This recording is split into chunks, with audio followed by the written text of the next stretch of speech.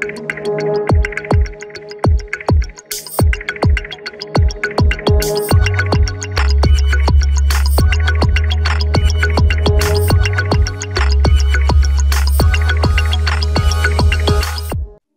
us through the programmatic landscape in India, I have Mr. Tejinder Gill, General Manager of the Trade Desk India, joining us for an insightful conversation. We welcome you, Mr. Gill. Thank you, Soumya. Uh, pleasure to be here. So uh, let's begin with understanding a bit about Trade Desk India. Uh, how has your journey been so far? What gaps does Trade Desk uh, really fill, you know, in terms of its offerings? Sure. Uh, happy to share um, our journey of last almost one year. So we launched uh, Trade Desk in India in uh, June 2021. Next month, we are hitting a one-year milestone. Uh, as you know, Trade Desk is a technology company that empowers buyers of advertising by capturing the fast-growing opportunities in open internet. Through this platform, marketers can basically buy uh, various ads across platforms and channels, right? Um, uh, how has been last one year for us? Uh, I would probably categorize it into three or four key pillars. Uh, one has been we've done strategic hiring uh, to accelerate the growth in India. So we've got uh, five directors across uh, Gurgaon and Bangalore, heading multiple roles with diverse backgrounds. second biggest achievement for us is that we've opened our first engineering hub in India in Bangalore uh, which is actually the fifth in APAC after Australia, China, Hong Kong, and Singapore. Uh, and the idea of this new facility is to tap into vast product and engineering talent pool we have in India and how company can advance innovation for programmatic advertising based out of India. Uh, the, the second core pillar where uh, we are contributing to the success of the ecosystem is uh, we have a programmatic program called as the Edge Academy, uh, we have rolled out the same in India, where we have now more than 2,000 plus certified professionals across the country. And as you know, programmatic talent is is a challenge. So we are we are nurturing the talent for the future. Uh, from a business point of view, uh, we've cracked some interesting partnerships uh, across uh, OTT, data, publisher. Across OTT, we are now integrated with Disney Plus, Hotstar, MX Player, with data. We have done it with Zapr and Lifesight. Uh, from a CTV, Samsung has been the key. Um, and if you if you really ask me, um, uh, like what is the broader vision, right? We're trying to build a scalable platform of choice for marketeers in India. And I think choice is the key word here. Um, from last decade or so, digital marketers have been missing choice. It is restricted to walled gardens and that is the big shift that we are trying to bring uh, in in programmatic landscape very nice uh, so talking from a more industry lens how open is india as a market when we talk of programmatic advertising are we still at the nascent stage or have we achieved uh, you know certain milestones uh, in that sense yeah, sure. So I think programmatic journey started in India somewhere around four years ago, uh, roughly, um, and the true definition of programmatic uh, has still not been achieved in in India as a market. It actually started for something uh, called as programmatic guarantee, which was actually a glorified version of doing insertion orders, uh, right, in digital advertising. Uh, programmatic, if you think about it, it's one of the fastest moving and most innovative sectors of tech and marketing, right? And the rapid shift has basically happened because of newer channels like OTT, CTV, which has come up.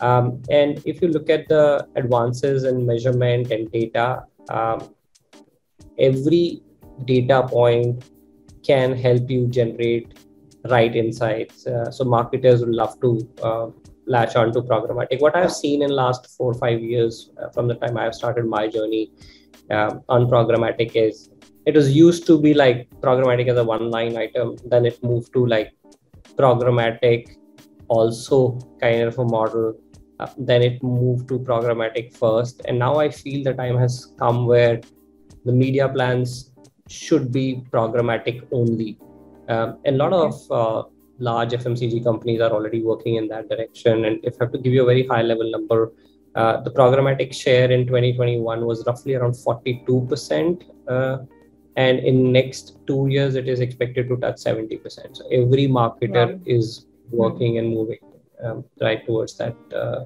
number. Uh, and interestingly, what also happens with programmatic, it gives advertisers ample amount of control, uh, right? To optimize, to launch, to pause campaigns, uh, and everything can happen in a very real-time environment. Um, and and that is one of the biggest advantages uh, of programmatic. And I see, you know, it will only multiply from here on with the kind of technology which is coming into the market. Sure. So you've spoken about the silver linings of programmatic advertising, but I also want to understand the challenges that you know marketers uh, on a day-to-day basis uh, realize or are uh, unhappy with or want to change in the system.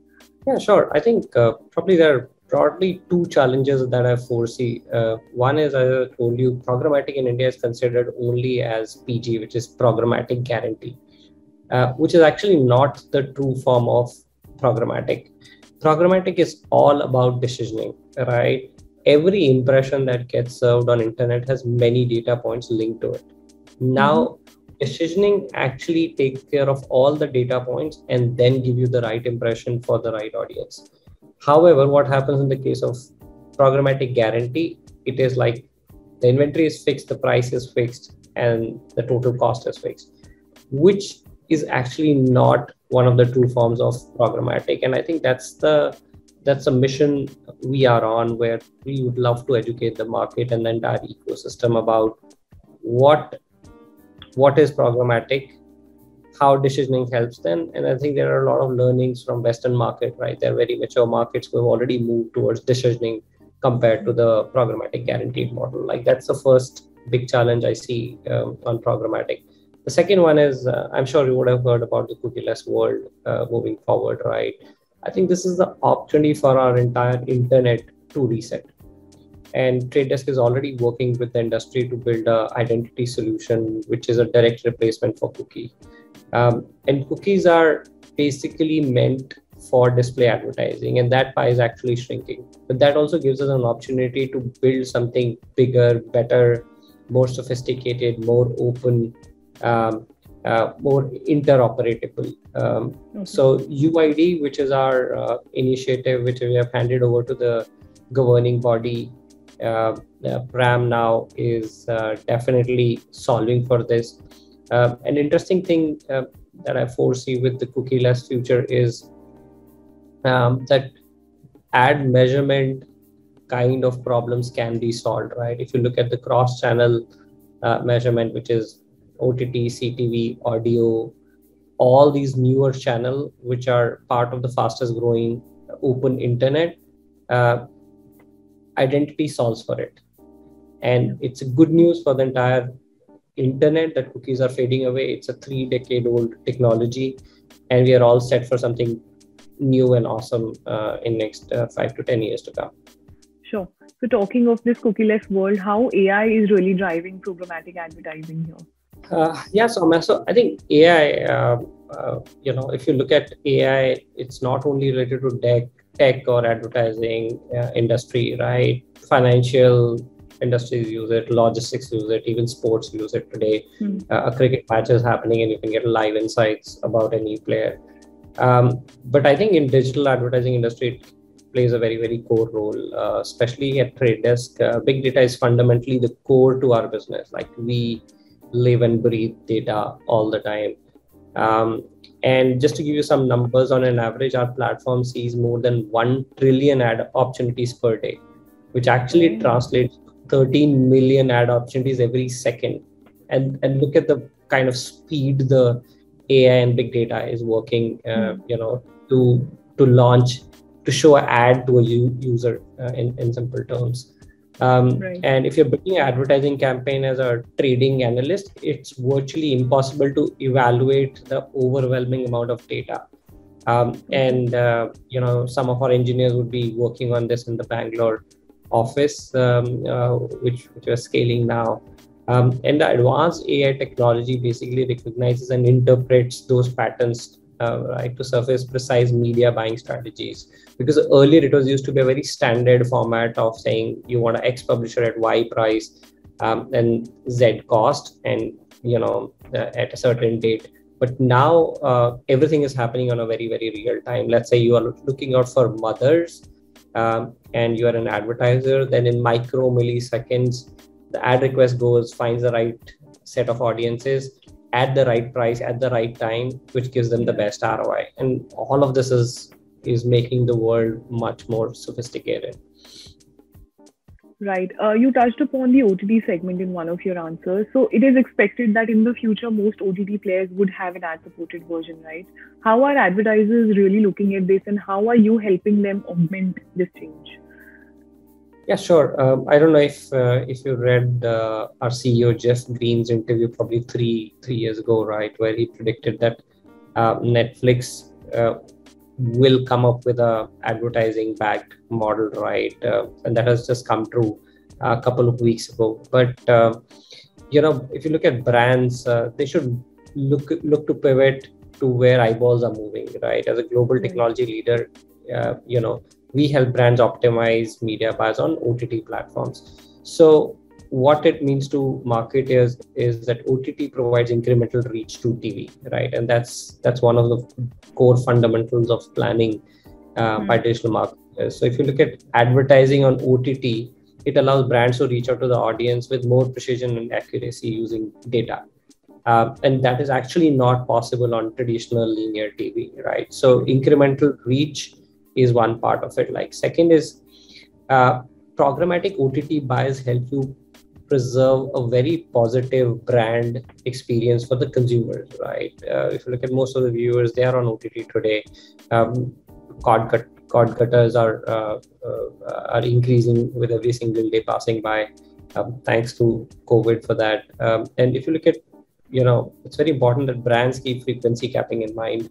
So that all all those very small things are very much possible on uh, uh, on uh, on programmatic and especially on OTT. Look at linear TV, you'll keep seeing ads one after the other because the spots yeah. needs to be free, right? Yeah. But when it comes to programmatic OTT, you can actually, as a marketer, control it from your hands and say, hey, Soumya should not see yeah.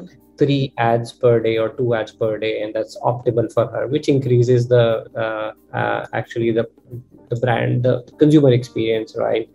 Um, and also, I think what is happening is uh, with open internet coming in uh, programmatic OTT also enables you to access dozens of OTT players under one platform, right? So there is a high possibility of having a deduplicated reach, right? So you can reach a user A on platform B and C on platform D, uh, which gives a very different, unique reach uh, uh to the marketers. And I think uh, as an omni-channel platform, uh, we enable marketers to reach relevant uh, audiences across devices, whether it's mobile, computers, tablets, connected TV.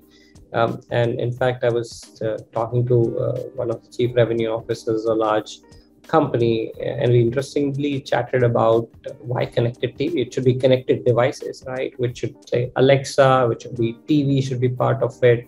Uh, Apple TV should be part of it, and and look at where where the ecosystem is uh, driving and look at the touch points that a consumer is actually getting uh, yeah. through the day right? Uh, and and i think that that's what uh, omni-channel strategy helps. It brings everything together in a seamless way targeting the right consumer giving the best roi to the marketer okay so coming down to my last question what are some of the upcoming trends in the digital advertising industry yeah sure um, I think probably two or three key trends, and I call them as uh, the three C's actually of uh, uh, of digital marketing. First is cookies, um, and by cookies I mean like depreciation of the cookies, uh, death of the cookies, or demise of the cookies, right? And marketers are basically now concerned about uh, targeting advertising in the future and ad frauds. And digital advertising will be more focused on how consumers get more control over data and privacy. Um, and if you look at, uh, as spoken earlier, right, is now looking for a bigger and a better solution, uh, right, which is alternate to cookies, which prioritizes basically consumer privacy, transparency, uh, more sustainability, um, and it should also explain the value exchange between marketers and consumers, right? Um, and UID 2.0 is actually a new and a better alternative to cookies, which helps you to not only do target but also measure things on time. Like that's cookies is one trend i see. Um, second one is ctv uh, interestingly uh, you know indians are continuously shifting from linear tv to connected tv uh, look at the changing consumer behavior of our kids right? They're they don't even you know watch linear tv anymore. Um, and almost 70% of indians now spend one to two, one to four hours actually on CTV, um, and this this time spent is increasing with every single day, um, and there there is a expectation that we'll have 40 million connected devices in next two years, uh, right in the country, and uh, and if you look at the difference between linear TV and connected TV, like on linear TV, brands cannot apply any data driven insights right? They cannot target specific audiences. And that's the drawback and that's what is driving the growth of ctv amongst marketers and the beautiful thing is advertise the cookies are non-existent in ctv right which which is a big thing. Um, third and probably the last uh, trend which is my favorite is i think connecting advertising with more business outcomes right? I think uh, in every board meeting, every CFO is asking a question to marketers on what is the ROI of ad dollars spent.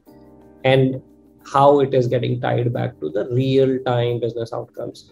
So traditionally, marketers are used to measure on CPM, CPAs, click through re- rates, um, but that is not good enough to show the end result.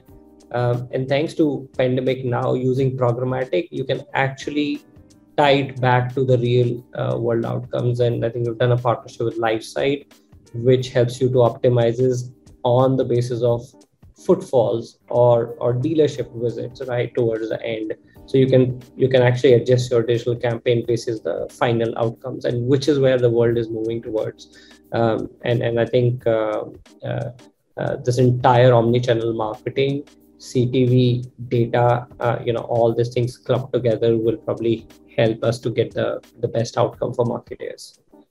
Sure. I think some very interesting insights there. Uh, I wish you all the best for your journey ahead and thank you so much for taking our time today. Thank you, Soumya, and super thrilled and excited about the, the trade desk and overall how the programmatic market is shaping up in India. And we'd love to play a little role uh, in the journey. So thank you so much, uh, for taking time out. Really appreciate it.